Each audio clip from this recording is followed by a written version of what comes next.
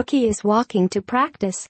Juju Smith-Schuster delivered one of the best touchdown celebrations of the season Sunday in a win over the Bengals, but the workweek got off to an awful start for the 20-year-old rookie. Disgruntled teammate Martavis Bryant called out Smith-Schuster on Instagram, and then someone stole Juju's beloved bike. He shared a video of himself walking to practice on Snapchat Tuesday. Just a day ago, Smith-Schuster rode home while still wearing his Steelers helmet. Teammate Antonio Brown is offering a reward to anyone who returns the bike to Steelers facilities. If you have any information regarding the whereabouts of Juju Smith-Schuster's bike, readers, please tweet him at TeamJuju.